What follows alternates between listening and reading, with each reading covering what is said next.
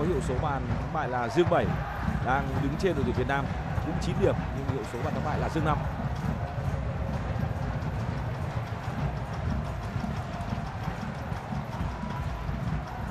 ở hiệp 1 của trận đấu này, thì đội tuyển U22 Việt Nam trong đội bóng đá đỏ ở phần sân phía tay trái màn nhỏ của các bạn. Thái Lan sẽ là những người lấy bóng trước và đây cũng sẽ là trận đấu cuối cùng mà U2 Việt Nam và U2 Thái Lan thi đấu tại Pring Stadium. Từ bán kết, các trận đấu sẽ được tổ chức tại sân vận Olympic quốc gia. Và như vậy là hiệp 1 đã bắt đầu. U2 Việt Nam trong trang phục toàn đỏ ở phần sân bên phía tay trái mảnh nhỏ của quý vị và các bạn. Trong khi đó thì U2 Thái Lan trong trang phục màu xanh ở phần sân bên phía tay phải.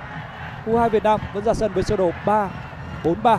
Ngược lại U2 Thái Lan thì họ sẽ chơi với sơ đồ 4 3 3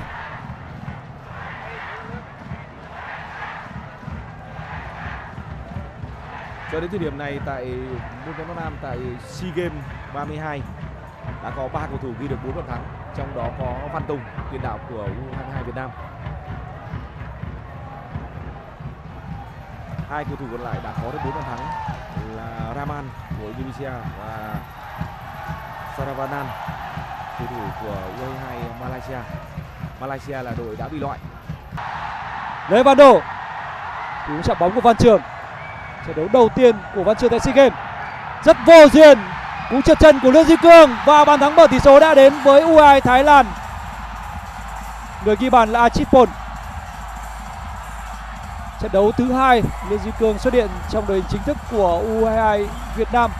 Và rất tiếc là đội trưởng của U22 Việt Nam đã mắc lỗi. Điều kiện mặt sân của Prince Stadium lúc này là không tốt. Sau rất nhiều những trận đấu phải cầy ải ở vòng bảng. Sau những ngày mưa thì điều kiện mặt sân đã không thực sự thuận lợi. Và vừa rồi thì Lô Duy Cương đã không kiểm soát được những bước di chuyển của mình. Cú trượt chân rất đáng tiếc của Lương Duy Cương đã tạo cơ hội tuyệt vời cho Achipol có điều kiện đối mặt với đoàn Huy Hoàng.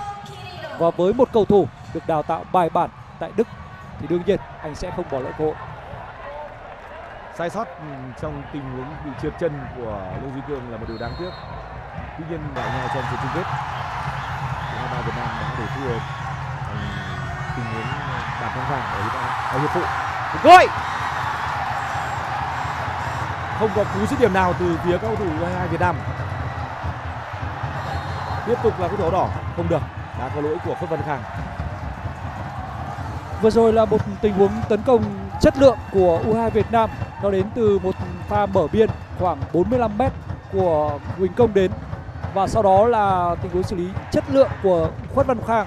Rất tiếc là Hồ Văn Cường đã khống chế lỗi trong trận đầu tiên và bỏ lỡ cơ hội. Nếu như khống chế tốt, thậm chí là có thể dứt điểm ngay ở trận đầu tiên thì rất có thể Hồ Văn Cường đã mang lại bàn thắng cân bằng tỷ số cho U2 Việt Nam. Đây là Hồ Văn Cường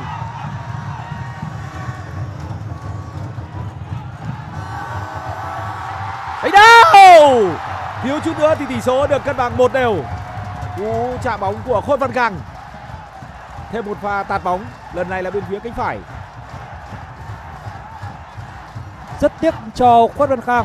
Một tình huống tấn công hay, một quả tạt ở phía cột sau của ngọc thắng. Khuất văn khang đã băng lên. Đúng lúc, đúng chỗ. Chỉ tiếc là điểm tiếp xúc bóng cuối cùng của văn khang thì đã không thể đưa che bóng vào phía khung thành trống có lẽ là Khang cũng đã bị khuất tầm nhìn bởi tình huống băng ra của Thira Woods. Vừa rồi là tốc độ và sức dướn của Đinh Xuân Tiến. Đó là một pha bóng hay. Đây là một cơ hội. Không vào. Các thủ hai Thái Lan đang khoét vào vị trí của Lương Duy Cương và Achipon đã rất nhiều lần vượt qua chính trung vệ này. Rất dễ dàng Achipon chỉ cần một tình huống bật tường 1-2 đã loại bỏ được Lương Duy Cương. Và trong pha bóng vừa rồi là một pha bóng mà Đoàn Huy Hoàng đã xuất sắc.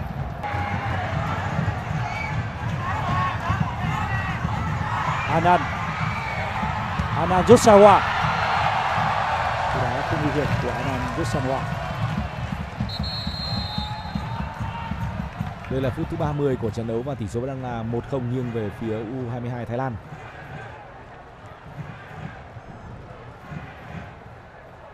Xem trọn vẹn SEA Games 32 trên Facebook, YouTube, TikTok, Nextport